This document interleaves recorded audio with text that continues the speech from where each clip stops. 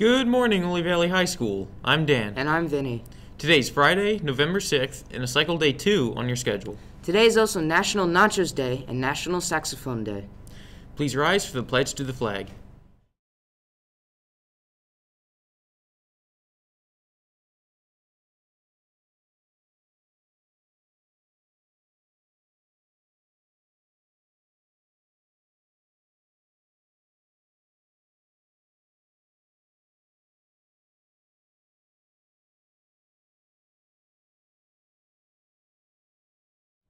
Today's grab and go lunch is assorted pizza, garden salad, baby carrots, fresh fruit, and goldfish.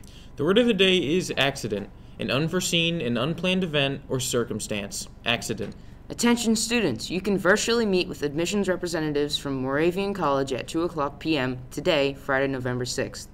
To sign up to attend this virtual college meeting, please message Mrs. Shearer on Schoology, email her, or stop by the guidance office. Attention students interested in applying to the BCTC on Wednesday, November 11th from 5:30 to 7:30, BCTC will be having a virtual open house uh, via Zoom. The link and Zoom information will be posted on the Berks Career and Technology Center website on November 11th.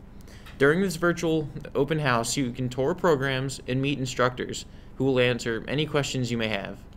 BCTC has a new online application. The application is on the Berks Career and Technology Center's website under Quick Links, applying to BCTC.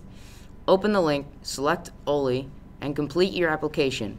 You will need your phone number, guardian's phone number, and email information ready. You cannot save the information and return to the application. The application has four steps. Please complete all four steps in the application process and see your guidance counselor before December 15th.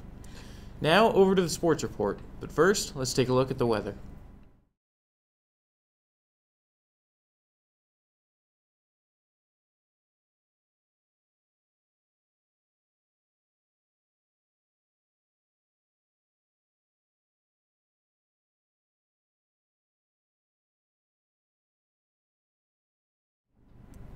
Welcome to the Lynx Broadcast Network Sports Report.